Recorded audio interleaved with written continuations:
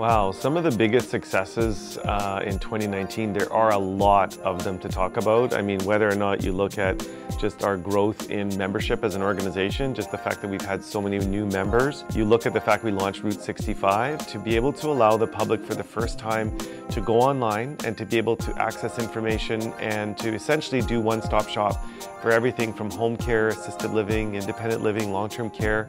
It allows you to access that information on your mobile phone or through a laptop or wherever else you're, you're getting access to it. And, and it's been extremely popular and we're really looking forward to what 2020 will bring for that as we continue to innovate and uh, expand the opportunities. You know, we had uh, record-breaking uh, sellout of our annual uh, conference. I mean, I think we were, uh, the booths were sold out within 24 hours, which is the fastest ever. We've just held so many amazing events. We had our board sponsor breakfast and uh, you know, I think it's worth noting uh, the amazing partnerships we have with our sponsors, and that was recognized at the board sponsor breakfast. Uh, you know, organizations like Rexall, uh, long-standing supporters of Care to Chat, which is one of our major events throughout the year.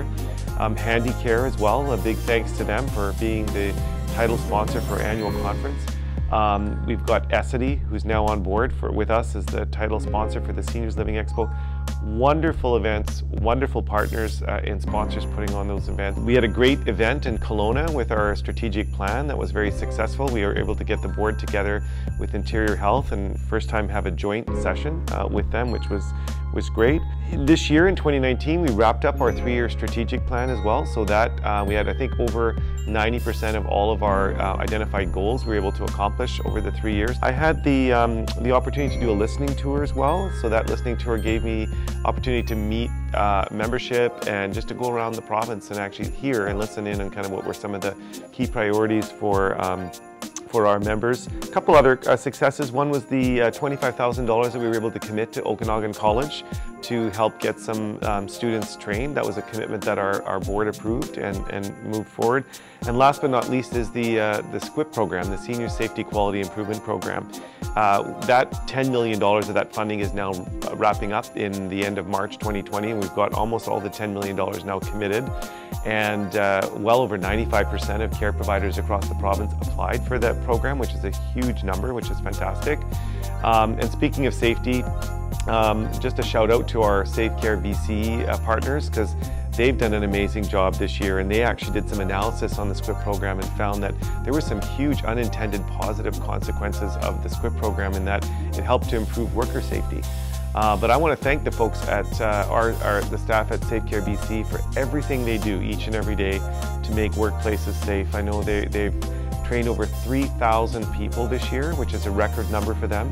And uh, that's all, they've accomplished all that in about five years. Probably if I look back, the biggest um, advocacy success for us throughout the year has to be, without exception, the changes that were announced on the Care Aide Registry. We had been really advocating for some major changes to the Care Aide Registry to ensure that employers, care providers across the province could hire people uh, more quickly and be able to attract people from outside the province. So that by far, I think, is probably the largest and most successful bit of advocacy work we did in 2019. There are many, many opportunities for us going into 2020. We have um, uh, an amazing annual conference that we've got planned in 2020 in the end of May, and we're expecting that to be sold out again.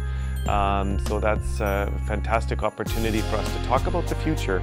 We're ending a decade and we're moving into a new one and this opportunity will be there for us to talk about that.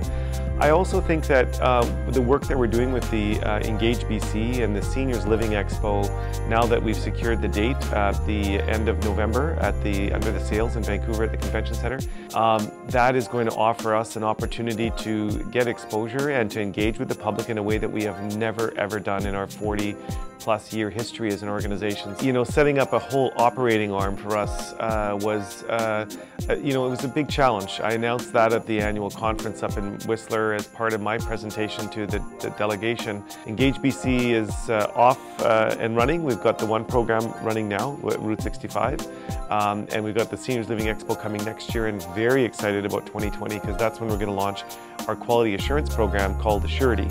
and that'll be launched in 2020. So with that, we'll have the three programs uh, up and running and Engage BC will be fully operational by then. Personal highlights for me this year, uh, probably a couple things, and, and they relate one to my opportunity. I got invited to Cambridge University in England and participate in the UK-Canada colloquium to talk about aging and the future of aging um, around the world. And to be there with some of the leading experts uh, was very personally uh, uh, gratifying to me to be able to meet such a, a amazing people.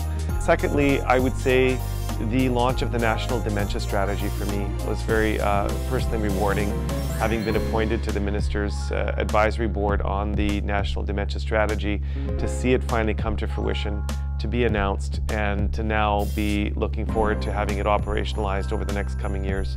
Just, um, I, want to say to everyone just a sincere thanks on behalf of the entire team from the BC Care Providers Association. Thank you so much for everything you've done um, and I want to wish you and your family all the best uh, throughout the holidays and also recognize the amazing staff that we have here at BC Care Providers. We have an amazing team who do an incredible job at uh, helping to provide services to our members and by way of that support through the seniors that they serve. And we have a great team. We have a great board of directors, an amazing set of members. Um, we're very fortunate and I want to wish everybody all the best and I hope they have a Merry Christmas and a very Happy New Year.